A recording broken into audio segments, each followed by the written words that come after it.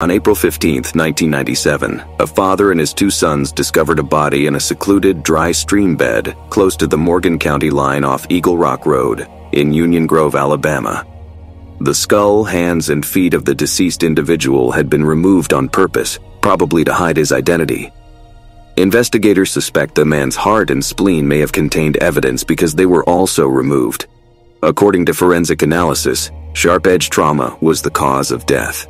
The gruesome efforts by the victim's killer or killers appeared to work because for years, investigators were unable to identify the victim. However, in 2019, Alabama authorities partnered with a DNA technology company named Parabon Nanolabs, which gradually made progress in the investigation by first enhancing and clarifying the DNA samples from the body and then comparing those profiles with others in genetic databases. Scientists from this company were able to create a genetic profile of the victim after overcoming DNA deterioration and bacterial contamination that had occurred over the course of the previous 26 years.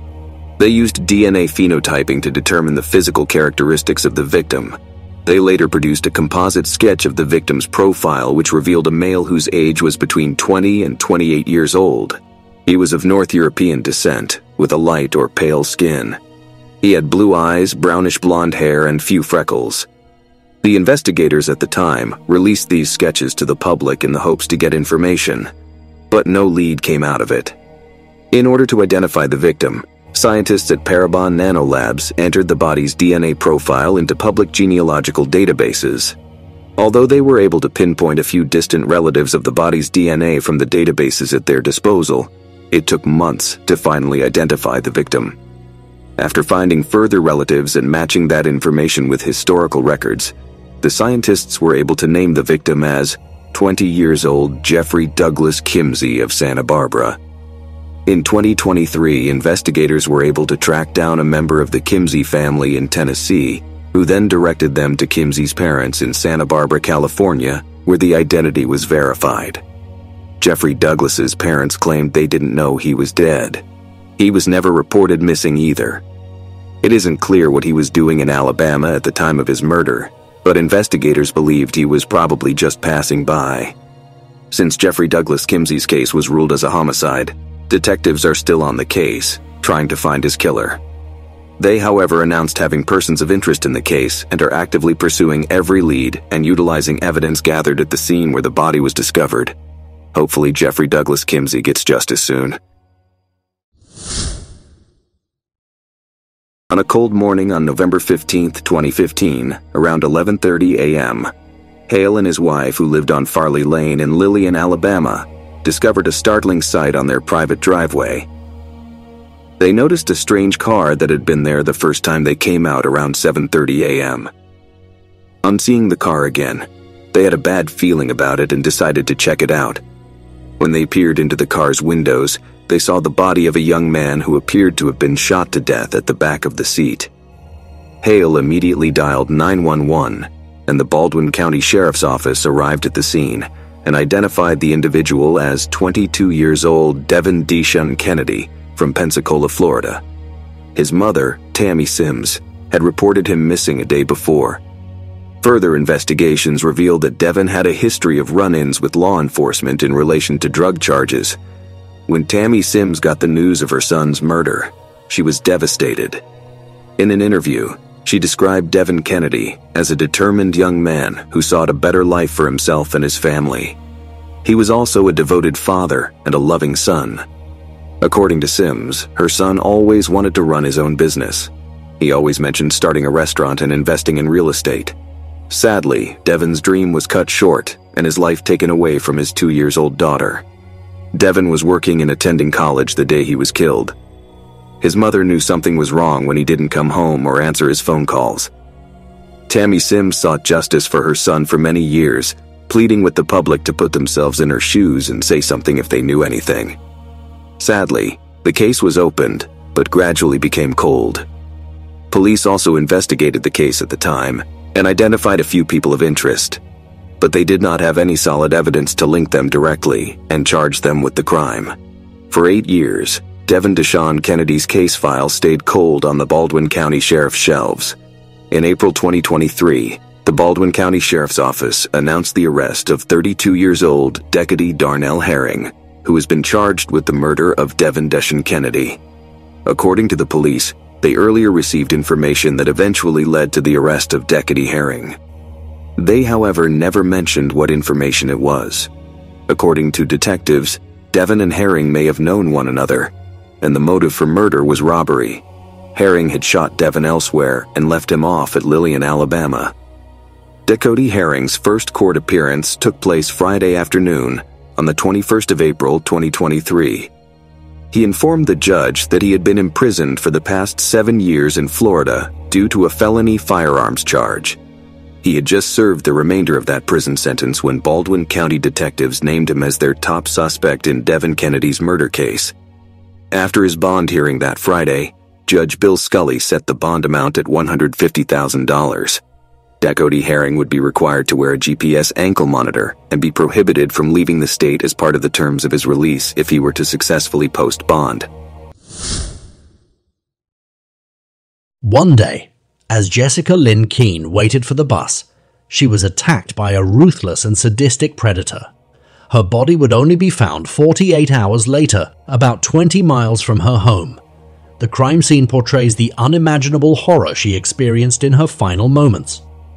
All the odds were against her as she struggled for her life in the dark, while her killer was on her trail. Her brutal murder would go unsolved for almost 20 years, but determined detectives were able to catch her killer by chance using DNA. Today's case takes us to Columbus, Ohio. Columbus is a busy city with plenty of entertainment options. There are numerous eateries, shops, bars, concert venues, art galleries, and other establishments in the Short North Arts District. The Gallery Hop, which takes place on the first Saturday of every month, is a fantastic way to see what Columbus has to offer in terms of artistic talent. The North Market a public market with vendors selling a variety of local cuisine, fresh produce, gifts, and more, is also located in the Short North neighborhood. Columbus is home to a large number of parks and museums, including the Scioto Mile Riverfront Park, the Columbus Zoo, and Aquarium, the Columbus Museum of Art, and the Center of Science and Industry. The entire year is filled with special occasions and festivals. But in the fall, football is the region's way of life. The Ohio State Buckeyes are the city's pride and joy. Though the city might seem all safe, fun and bubbling now, it wasn't always like that in the 1990s. In fact, the homicide rate and violent attacks were high in the year 1991. Jessica Lynn Keene was born on September 24, 1975, to Rebecca and James Keene. She was well loved by her parents and basically had everything a child could ever ask for. The love, care, and the peace of mind at home reflected in her academics while growing up. Teachers simply called her a good student. In the year 1991, 15 years old Jessica Lynn Keene was an honor roll student in Westland High School. She was gifted, ambitious, and loved by her family. Jessica became a popular cheerleader and a talented performer. She was well known and well liked by friends. According to her mother, Rebecca, Jessica had a lot of dreams and goals. Jessica, idealistically, would have loved to have been a singer, an actress. I guess, realistically, Jessica loved animals and wanted to go to college to be a zoologist, Rebecca said. However, Jessica's smooth life and the beautiful relationship she shared with her parents came crashing down in March 1991, and this had to do with the teenager's love life. Jessica had fallen in love with an 18 year old school dropout, Sean Thompson. They started dating, and their relationship was new and exciting. But, according to Jessica's mother, the love affair began to distract Jessica from her academic life. Also, in an effort to spend more time with the person she was infatuated with, Jessica even quit cheerleading and would often skip school to see Sean. This made her grades decline drastically. Just like every parent who wants the best for their child, Jessica's parents became worried and forbade her from seeing Sean Thompson ever again, at least until her grades came up enough for her to get a scholarship into college. Jessica was in love and wouldn't listen to her parents. She continued to sneak out of the house to see Sean. When she began to threaten her mother about moving out of the house, she knew she had to put her daughter back on track before it gets too late. At a point, Jessica and her mother's arguments got worse. They both realized they needed some time to let off some steam. They then agreed that Jessica should spend two weeks at the Huckleberry House live in counseling facility for troubled teenagers. While there, she was to attend therapy sessions in an effort to get her back on the right track. Jessica complied as required, and on March 15, 1991, her live in stay at the facility was almost over when things started to go very wrong. She called Sean Thompson the day before she was scheduled to return home, but it seemed she probably didn't get the response she was hoping for. According to those who witnessed the phone call, Jessica and Sean got into an argument over the phone. At a point, they broke up, and on ending the call, Jessica was said to have been very visibly upset. Afterwards, Jessica, who was devastated by the situation, told her friends she was going to the mall and then made her way to the bus stop close to Huckleberry House to wait for the next bus. Nobody would ever again see the 15 years old alive after that. It was getting dark, and Jessica failed to return to the Huckleberry House facility. Her friends and the staff at the facility waited for her, but when she didn't show up, they reached out to her parents to inform them what had transpired. She was eventually reported missing to the police and a massive search for her ensued. However, the search came to an end 48 hours later when her body was sadly discovered at the Foster Chapel Cemetery, about 20 miles from the Huckleberry house. Jessica had duct tape wrapped around her hands and mouth and was otherwise naked, save for a bra and one sock. The teenager had been brutally beaten and raped before being fatally struck in the head by a gravestone that was discovered nearby. Strangely, Jessica still had her wristwatch and ring on her. But her beloved necklace, inscripted with the word taken, which was a gift from her boyfriend, was gone. After starting their investigation, the police concluded that Jessica had likely been sexually assaulted between two and four hours before she passed away, due to the semen at the crime scene. After a thorough inspection of all the hints and clues at the cemetery, the investigator in charge of the case Special Agent Greg Costas came to the heartbreaking conclusion that Jessica Lynn Keene had been abducted and held captive in a car, but she had only just tried to elude her captor.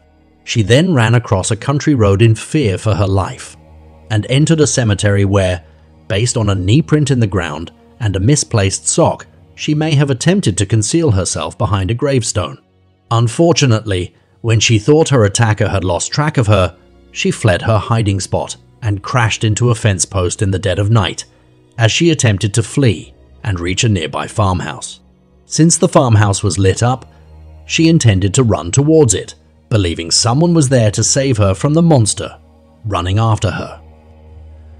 Sadly, she couldn't make it there on time as her great fall alerted her attacker, who later discovered her and killed her with a 70 pounds gravestone.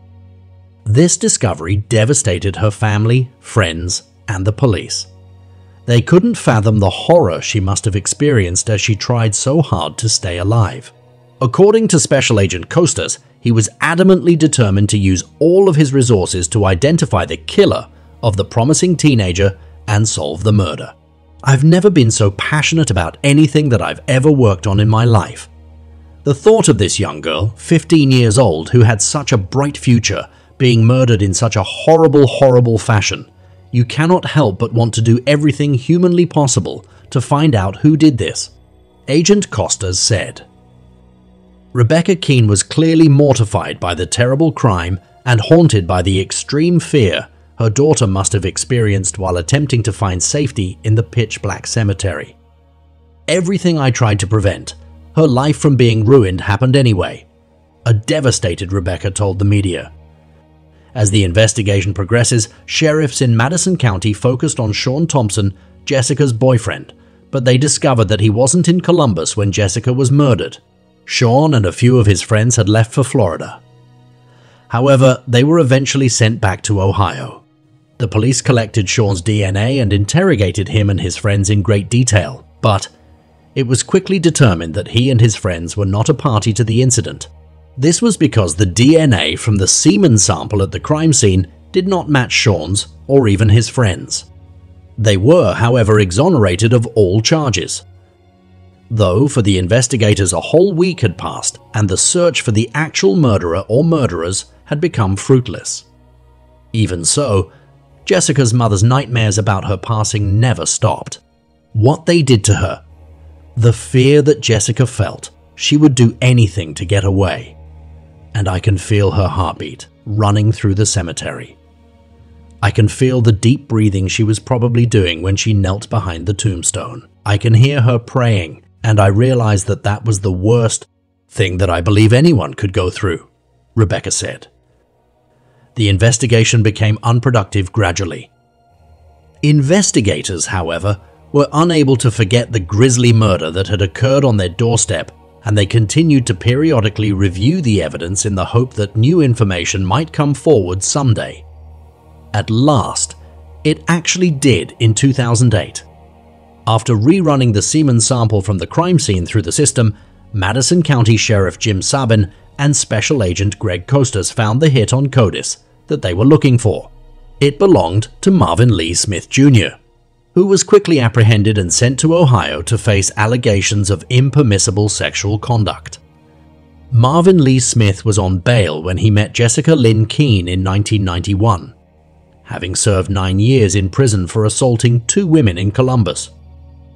Marvin Smith was required to submit his DNA as a formality when he was released from jail, after serving time yet again in 2000.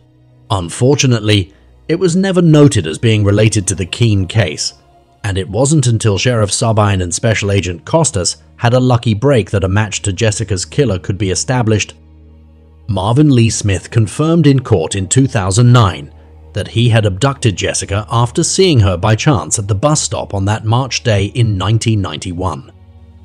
This confirmed the police's initial suspicions.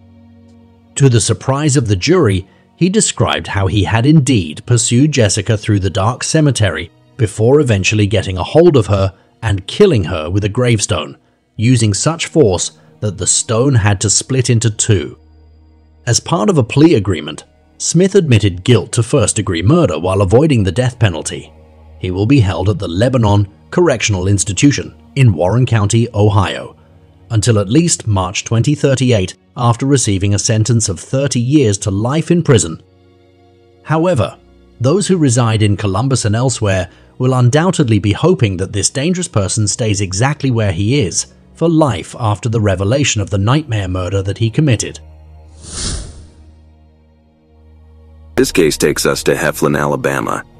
In 2002, Heflin was a small town which has a population of less than 3,500 people and a total area of just 16.31 square miles. Back then, everyone pretty much knew everyone, and when a triple homicide occurred in a place like Heflin, it shook the very core of the community and left behind aftershocks that may still be felt today, particularly when the victims were a young pregnant woman and her six year old son. Monica Pritchett Rollins was a 23 year old mother of two boys named Dalton and Aaron, who were six years old and two years old, respectively. Before her murder, Monica was also expecting the birth of her third son in a few weeks. After she and Jeremy Rollins, Dalton and Aaron's father and her high school lover, made the decision to separate and file for divorce, Monica and the boys moved into their Sugar Hill Road home in late 2001. On Friday, September 13, 2002, Donald Pritchett, Monica's father, had been looking forward to Monica and the boys' arrival at his Anniston house so he could finally give Dalton his gift a colt Dalton had named Mojave. When they finally arrived, they spent the evening talking, eating, and riding horses before Monica and the boys returned to their Heflin house at around 8:30 p.m. with the intention of returning later that weekend. But after the weekend had passed with no further communication from Monica, a family member made the decision to go see if everything was well with her and the kids. Nothing could have prepared them for what they discovered when they arrived at Monica's mobile home around 10:45 a.m. on September 16, 2002. Monica and her first son, Dalton, had been cruelly killed in their own house. According to autopsy results, they died as a result of multiple stab wounds they sustained somewhere over the weekend. Because of the assault, Monica went into labor. Her unborn child was later discovered dead and only partially delivered. Aaron, her two year old son, was discovered hidden in a closet inside the house alive and unhurt. Around 6 p.m. on the same day, Jeremy Rollins left Southwire after completing a 12 hour shift. He found out about the killings of his ex wife and his oldest son a few hours later when the police requested him to report to the station. As the investigation progressed, officials claimed that Jeremy was not a potential suspect and that he cooperated with the inquiry the entire time. The detectives did all they could to find the culprit at the time, but there were no tangible leads. At the time of the murder, DNA, fingerprints, and other types of evidence had been gathered at the crime scene and transferred to the Alabama Department of Forensic Science for examination. Unfortunately, due to budgetary restrictions, the forensic department experienced severe backlog problems at the time of the killings, which caused a delay in processing. The case, however, went cold for decades until January 2021 when investigators reopened the case. They re interviewed 60 people and resubmitted a cigarette butt found at the crime scene to the forensic lab for DNA testing. After a thorough analysis, investigators linked the evidence at the crime scene to Lewis Landon Spivey. Spivey, who is now 36 years old, was 18 when he allegedly killed Monica and Dalton. He was romantically involved with Monica. After the murders, in 2010, Lewis Spivey was imprisoned in Florida for 15 years due to a separate robbery and severe assault case from Bay County. Investigators visited him in prison for an interview. On June 26, 2023, Lewis Landon Spivey confessed to the killings of Monica Rollins and Dalton Rollins. He allegedly offered officials a complete confession by describing the incident and accepting sole responsibility for the killings. Finally, after 21 years, Lewis Spivey was taken into custody by Heflin Police Department after his release from a Florida prison. The young son of a woman named Yvonne Johnson was playing behind their Brookhaven Trailer Park house on Hurst Street in Opelika, Alabama on the afternoon of January 28, 2012, when he discovered a small human skull. Startled, the little boy ran inside to inform his mother, who then dialed 911. In a short period of time, Authorities reached the location and retrieved the skull. They then spread out into the woods and discovered more human remains. Also, a pink long sleeved shirt with heart buttons and ruffles was found. This was discovered next to a brook, but it was unclear to the investigators whether it was associated with the human remains. Following forensic examination, it was discovered that the bones belonged to an African American girl between the ages of 4 and 7. In line with malnutrition, the results also showed that the young girl's bones were underdeveloped. She had an obvious abnormality to her left eye, which was presumably brought on by abuse, and there were indications that she had been physically assaulted before her death. The young girl suffered fractures to her ribs, shoulders, limbs, legs, and skull. She suffered more than 15 separate fractures from blunt force trauma in total. All these injuries had been incurred before she passed away, the girl's DNA was run through the missing person database, but no matches were found. The police soon appealed to the public for information. Unfortunately, there were very few tips, and after just four months, the case was closed. The unnamed youngster was later referred to as Opelika Jane Doe, or Juvenile Jane Doe, in an effort to get some urgently needed information, federal agents at the FBI office in Quantico, Virginia, used forensic imaging equipment to create a sketch of what the young girl may have looked like while still alive. The composite sketch was made public by the detectives. They had billboards up around the southeast and circulated the flyers widely online, urging anyone who may identify the young child to get in touch immediately. Investigators soon determined that Opelika Jane Doe had died between 2010 and 2012 However, after a former vacation Bible school instructor at the Greater Peace Church in Opelika came across the sketch, she gave investigators a picture from 2011. She thought that Opelika Jane Doe was in the photos. They made public the church photos, which showed the young child with a defect in her left eye. She had black hair that was fashioned in little, tight curls and was medium in length. The general population was prompted to reflect on the past and to examine whether they knew a little girl who attended the Bible school. According to them, Opelika Jane Doe usually appeared to have been slightly unkempt and wearing filthy clothes. She was described by the teacher as being quiet, solitary, and not particularly social with the other kids at the Bible school. Authorities tried to find her name in churches and schools, but they found nothing. They soon transferred Opelika Jane Doe's remains to the University of South Florida's forensic anthropology for isotope analyses after the images were made public. She was identified as being from the southeastern region of the country, most likely Alabama or nearby states. With no lead, the case went cold for 10 years. In 2022, detectives expanded their search for answers outside Alabama. They went to other states where the girl might have lived before her murder. They questioned residents and interviewed quite a number of people, showing them Opelika Jane Doe's possible photos to see if they could identify her. Luckily, there was a significant breakthrough in the investigation when authorities discovered 50 year old Lamar Vickerstaff Jr. to be Opelika Jane Doe's father. Lamar Vickerstaff was born and raised in Opelika, but throughout his time in the Navy, he resided in a number of locations. He finally settled at Naval Station Mayport in Jacksonville, when investigators met with him at the naval installation to break the news of his daughter's death, he steadfastly refused to identify his daughter. His wife, Ruth Vickerstaff, was questioned by investigators, and she admitted she had no idea who his daughter was or who she might have been. She and Vickerstaff had tied the knot in 2006. The detectives did further investigation and discovered Opelika Jane Doe's real mother, who was 37 year old Sherry Wiggins. Sherry disclosed to the police that in January 2006, she had given birth to a girl who went by the name of Amore Joveah Wiggins. However, after her visitation privileges were revoked, her ex-husband Vickerstaff and his wife were granted physical and legal custody of her daughter in 2009. Sherry Wiggins was able to provide investigators evidence that she had been paying Vickerstaff child support since 2009. According to investigators who looked through pediatric and school records in the communities where the Vickerstaffs resided, Amore Wiggins was never enrolled in school and was never reported missing. In January 2023, DNA testing made it clear that Opelika Jane Doe was actually Amore Joveah Wiggins. On January 17th, Vickerstaff Lamar and his wife Ruth were both taken into custody. Ruth was charged with failing to report a missing child, while Vickerstaff was charged with felony murder and failure to report a missing child.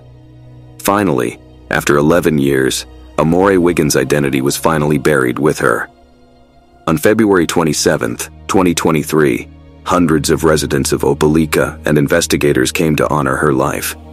Detective Alfred White of the Opelika Police Department remarked, We can finally put the right name and right face to her, and we don't have to call her Jane Doe anymore. Sherry, Amore's mother, was also present.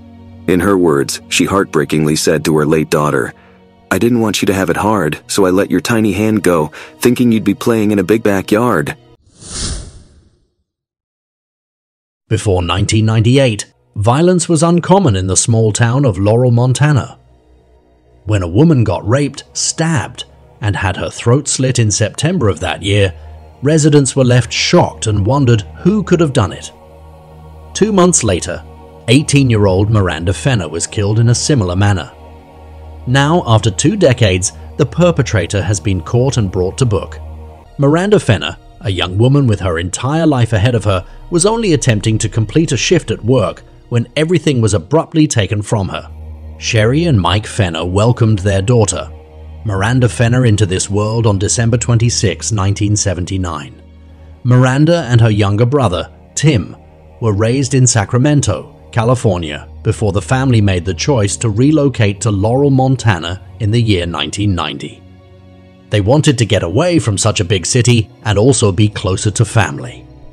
Miranda Fenner had deep dimples in her cheeks, dark hair, and eyes.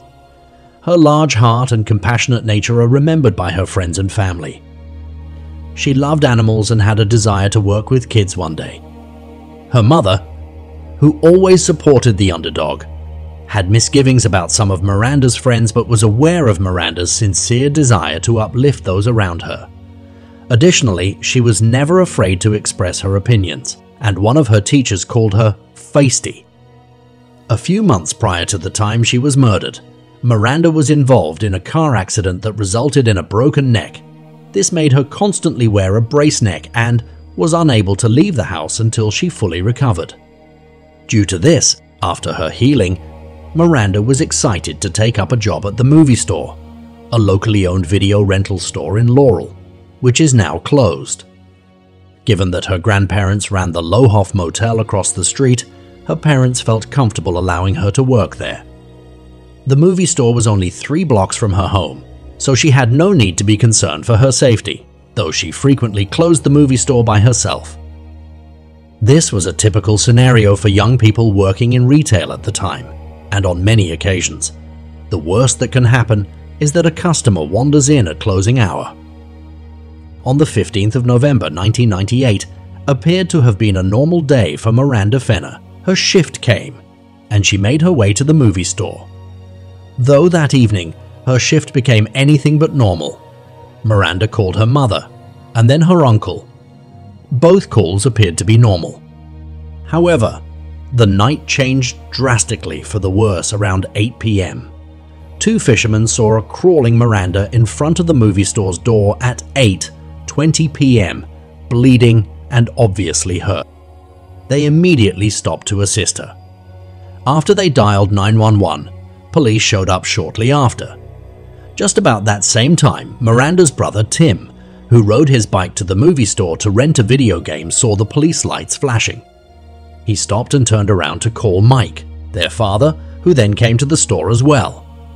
Officers informed Mike what had happened and told him that Miranda was being transported by Life Flight helicopter to St. Vincent's Hospital in Billings, which was about 15 miles away. Sherry immediately left work after learning from her mother that Miranda had been rushed to the hospital. While Miranda Fenner's life was being frantically saved by doctors, Sherry and Mike made their way to the clinic and waited eagerly to learn about their daughter's condition. Unfortunately, as Miranda underwent surgery to treat her injuries, she passed away. It was at that point that Sherry and Mike discovered that their daughter had been murdered. Even though Miranda Fenner's murder scene was gruesome, there wasn't much evidence left behind. Miranda had suffered multiple head stab wounds as well as a slashed throat. There was no weapon left behind at the crime scene, and there were no leads found in the fibers and hairs that may have been left behind by her attacker at the scene. Police were unable to identify a suspect or the motive. Although it was noted that a small amount of cash had been taken from the video store's cash register, robbery could not be completely ruled out as a possibility. Investigators questioned over 700 witnesses for two decades. They pursued a handful of leads, including a number of false confession, but it was in vain. Miranda Fenner's parents never gave up hope that the killer or killers of their daughter will be apprehended. The case, however, went cold for almost two decades. In 2012, Miranda's case was transferred to Billings Metro Police's Cold Case Unit, which continued to look into the case. In the year 2016, the Yellow County Police got another confession from Zachary O'Neill, a minor offender from the area. He was admitting to the 1998 killings of both the raped woman and Miranda Fenner. The police had previously dealt with numerous false confessions, and the man's account did not make sense. Though she was still alive, the man claimed to have killed the rape victim. Additionally, the information he provided about Miranda's murder was a well-known public knowledge. Also, Zachary O'Neill happened to have confessed from a psychiatric hospital in Washington. The police brushed off his confession, but a determined Zachary returned to the Yellowstone County Jail in March 2017. At the time, he was intoxicated, but he admitted to the crimes once more providing more details. The police took his DNA before releasing him because an arrest in Montana cannot be made based solely on a confession, they had to verify his account. Zachary O'Neill's confession was, however, true. His DNA matched the evidence in the raped woman's case. He had left her for dead after slitting her throat. He was confessing to her murder because he was unaware that she had lived and on the day of Miranda's murder, Zachary had been present in the video store twice. Members of his family claimed that the second time, he arrived only moments before Miranda was attacked. At the time, Zachary, who was 18 years old, had been questioned by the police but denied being involved in Miranda Fenner's murder. During the investigation in 2019, Zachary O'Neill claimed that he used to steal back then in 1998 to support his drug habit. He said he was on meth the day he killed Miranda Fenner. According to him, the first time he went to the store was to rent movies. A few days later, Miranda rang him up for the movies he had rented. When his mother, with whom he was living at the time, saw one of the films, she ordered him to return it because it was pornographic. He, however, went back to the store not just to return the movie, but to also rob it. Zachary waited for all customers in the store to depart before he struck. According to him, he stabbed Miranda out of fear that she would recognize him after the robbery. He ignored the murder for years, but eventually his conscience caught up with him. After his own brother was murdered in 2013, it was a relief when his killers were apprehended. He therefore desired for Miranda's family to experience the same closure. In August 2019, Zachary O'Neill went on trial for both Miranda's murder and the attempted murder rape of the other woman. He pleaded guilty and was given two life sentences.